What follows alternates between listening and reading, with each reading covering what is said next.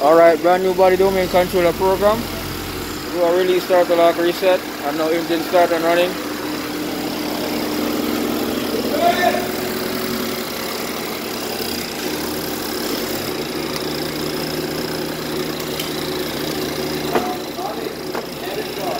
Thank you, man. What? Thank you. Finally, something started today.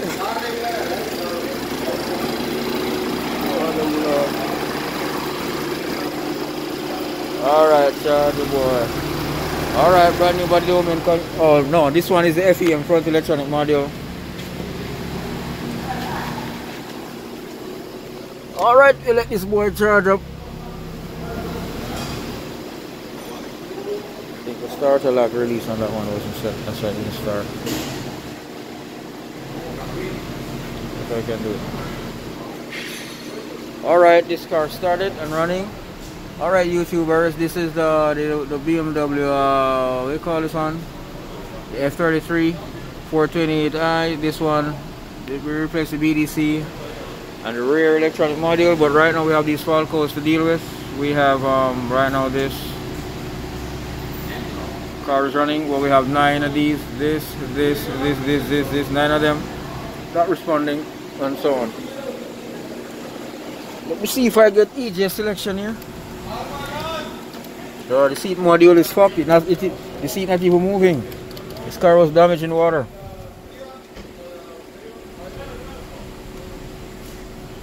Yeah, the EGS is working. The car is moving.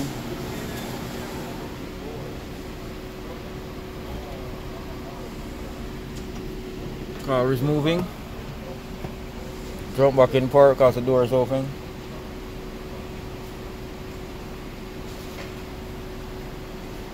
Of this thing is supposed to be Onyx. This thing right here. Uh, I don't know if this thing can be reset. Alright, this car is running now.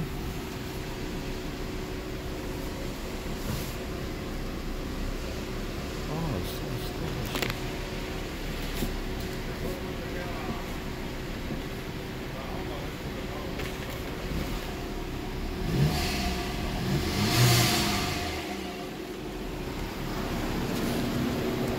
Alright, this shit is started.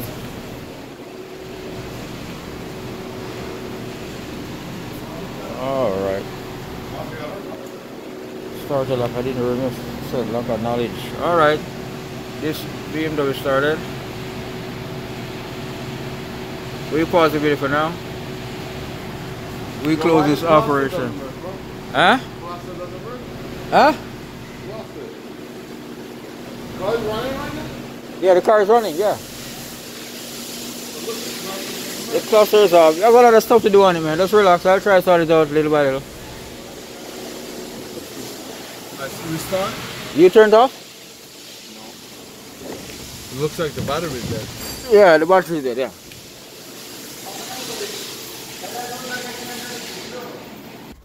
Alright, this is the BMW X1. The BMW F33 started, new BDC program. Or, sorry, new FEM programming, that. F33 now, this BDC right here. But um, I'm going to try to get this started because it didn't start it. So I'm going to try to get it started now.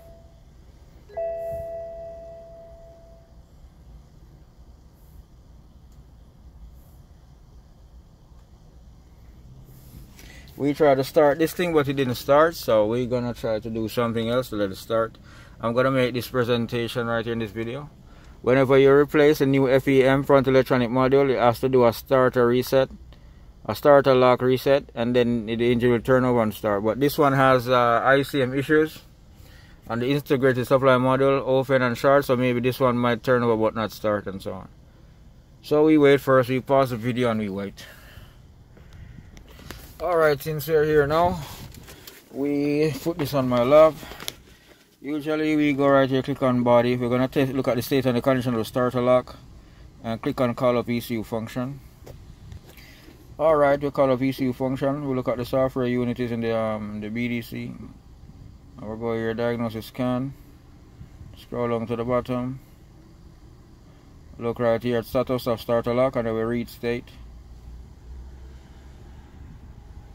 You said starter mode lock active, okay? All right so we gotta just close this right here. And we'll go right here in vehicle management. I'll go right here in service function. I'll go right here in powertrain. Engine start. And we go right here reset starter lock. We'll click right here. Then we'll go down at the bottom and click display and then it says here only carry out the service function if a CAS control unit or FEM BDC has been replaced. He said if the engine does not start, the cause may also be the uh, presentation code.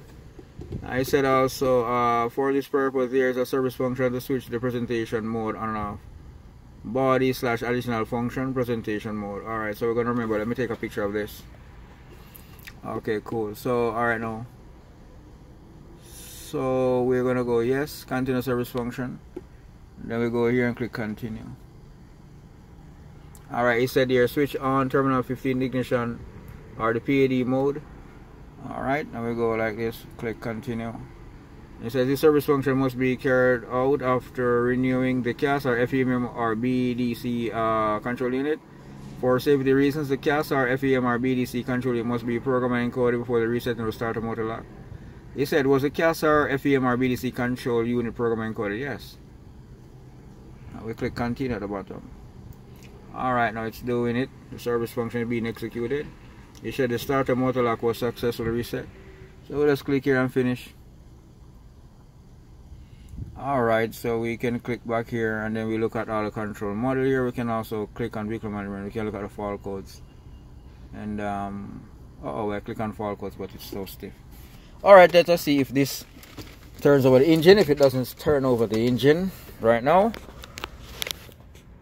um, we might just have to deal with the integrated supply module replacement. So we put foot and brake, sit on that and start stop button right here. See that?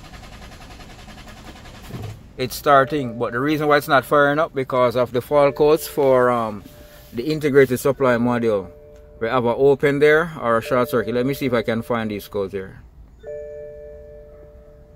We have this. This is one right here. Relay relay right here. Relay for ignition and fuel injection. Activation open circuit. So the integrated supply module has to be changed. Maybe the relay is not being turned on. So I already tell Charlie that he should replace that one. All right so um and the new airbag also was short circuit to negative and so on. So the engine turns over and then there's no uh, engine startup and so on. The uh, the F33 startup fine. God, that doesn't we don't have any problem there with that integrated supply model or oh, the wire diagram on that one is set up for the DME. Alright, this one says here Valvetronic relay activation open circuit. We have to solve this issue right here. Alright, so I'm to have to come back here probably tomorrow or some other time. This is a problem we have here right here. Valvetronic open circuit and also terminal 15 N1 terminal 15 3 voltage problem right here all of this is caused by the integrated supply module which supplies the DME uh, uh, the DME side of things where it supplies the injection and the coil packs and also the uh, right here. See that? Because this cars was flooded and water damage and so on. Alright so even if I delete the fault codes right now we try to restart. It's still gonna um, prevent uh, prevent the engine startup. Alright video. We are going to um, pause this video for now okay so we delete fault codes. We have 30 of them remaining. All right so we can click there. We know we're gonna get by the same codes. About starter lock this and that so. And there they are right there. Same codes. Same codes okay? So all of these things have to be free. All these control modules right there that responsible these all these have to be checked out. The wiring is open. Water damage short circuit so if we put foot on brake again right there and we click start stop button right here all right the reason why there's no engine firing up and starting because there's a short circuit and open on the relay for the injectors and the fuel injection. So we have to replace this control module right here. This one right here. Integrated supply module. This thing right here. This thing right here. Right here okay? This little box right here. Sit right beside the battery this is where the ISV is contained right here. These uh fixed in relays and fuse and so on. We can't really replace them relays but you have to buy an entire box. As you can see the dirt right here the water flood the car come up all the way here. Is the water that bring these things right here. So okay youtubers thank you for viewing my video. Subscribing and have a nice day. I am out